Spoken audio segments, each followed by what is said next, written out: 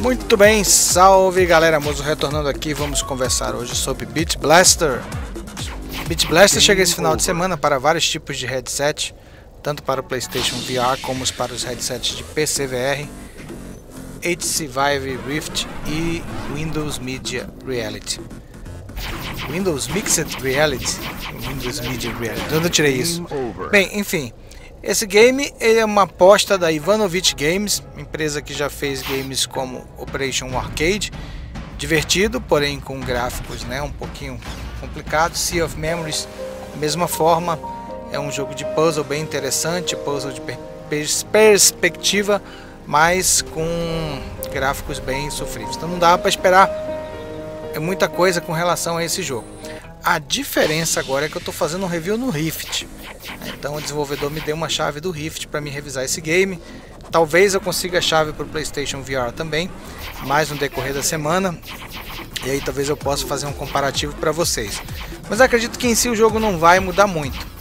Basicamente você vai andar nesse cenário que é meio surreal, né, com essas meio psicodélicos, são loucão assim que nem vocês estão vendo aí, com duas armas na mão, rola sempre uma música eletrônica e você vai atirar nos tem tipo uns objetos, uns, uns, inimigos ali que são meio que pulsantes e, e, enfim, tudo tem um pouquinho de ritmo no jogo, essa é a ideia. Pegando aí a onda de Beat Saber, né? Vamos ter agora o Beat Blaster. Bem, nem assim, na verdade não é exatamente um jogo de ritmo, ele é praticamente um shooter que mistura um pouquinho aí de X-Tunnel e esse novo agora, o Vertigo Home, com uns blasters, né, com, com armas. Então você vai andar nesse cenário meio malucão, abrindo portas e avançando fase a fase, cada fase vai ficando mais complicada e você não pode tocar em absolutamente nada, ou nada pode tocar em você. Você não pode tocar em nenhum desses obstáculos e você não pode é, ser atingido por nenhum tipo de bala, de míssil, de projétil que esses inimigos jogam em você. Acho que já deu para entender como funciona o jogo. Tocou uma vez na parede ou algo tocou em você, vem a mensagem Game Over. Game Over.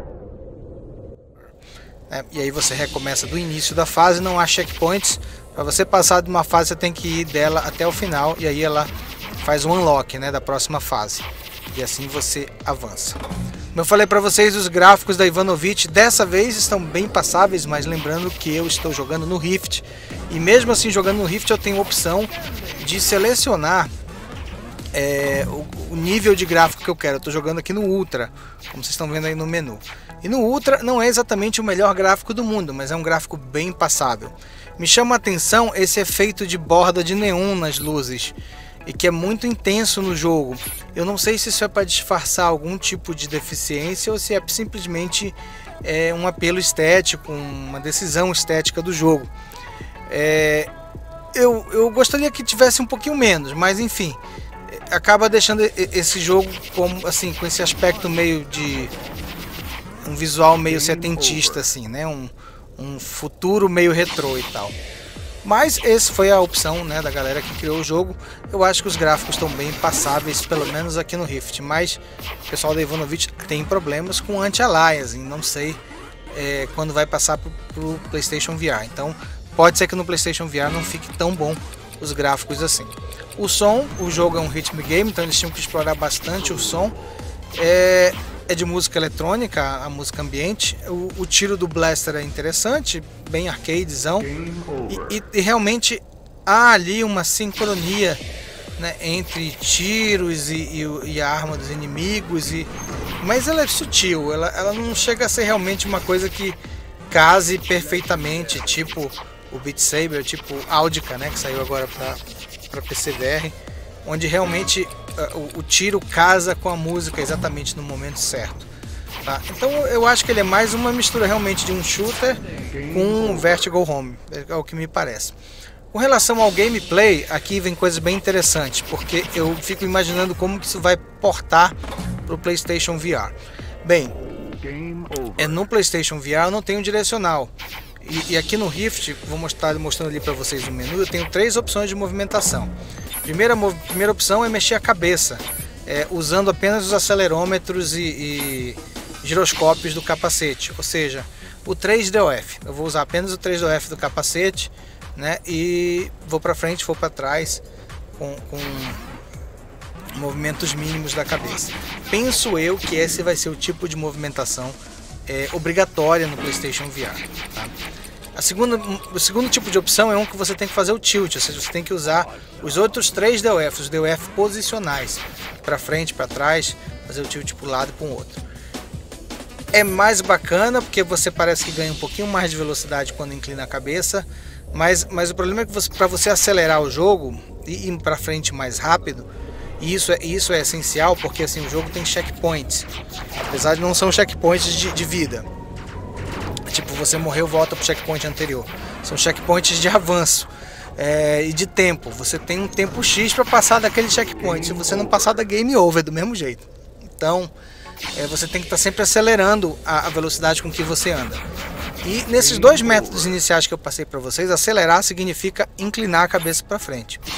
É, nesse modo tilt, que é o modo que usa o, o DOF posicional, você tem que inclinar bastante a cabeça e às vezes e tem que olhar para frente para poder atirar nos inimigos que estão tentando te acertar e tal, desviar das estruturas. E às vezes nesse negócio de você inclinar para frente e levantar o olho para cima, tu tira teu olho do sweet spot lá. O sweet spot é aquele ponto do headset onde você tem a maior, é, maior nível focal, você consegue ver as coisas mais nítidas. Todo mundo tem isso. No PlayStation VR, então é muito, muito fácil de ver isso aí. Tanto que ele mesmo te pede, olha, ajusta ali a, a posição do capacete até que esteja tudo nítido. É porque você acabou de colocar o headset no seu sweet spot. Então, essa postura de você olhar para frente e tentar ao mesmo tempo guiar o coisa, acaba tirando o teu olho do sweet spot e deixa a, a visão embaçada. É, pelo menos no Rift. E isso eu não achei legal.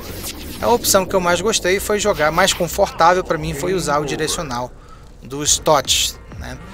É bem mais fácil, menos risco de cinetose. O problema é que no PlayStation VR não tem direcional. Então, assim, não sei se eles vão dar no PlayStation VR a opção de você jogar com o DualShock. Mas aí também você perde a questão da individualidade das armas. Né? Então esse é um, é um o gameplay desse, desse, desse jogo, quando for portado no PlayStation VR, eu queria muito saber como fica.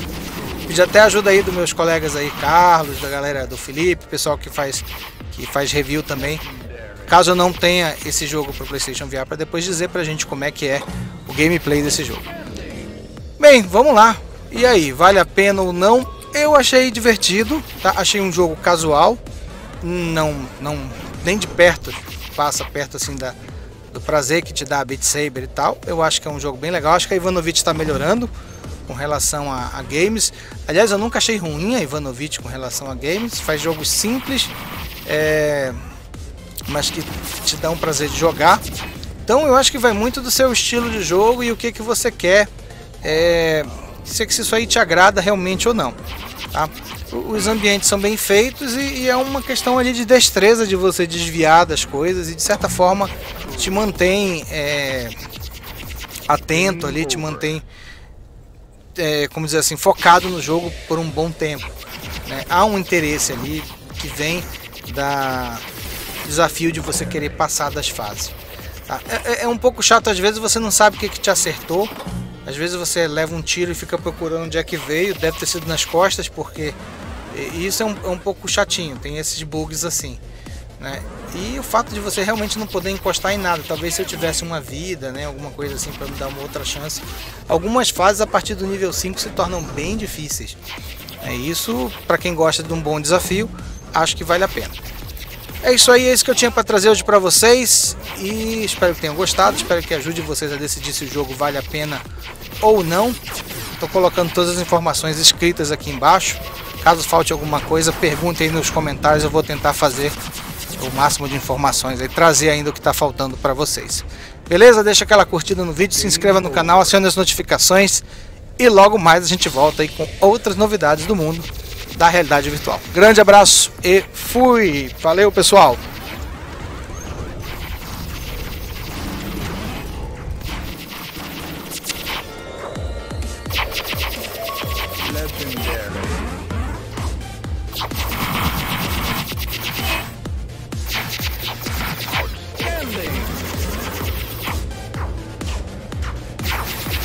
Game over.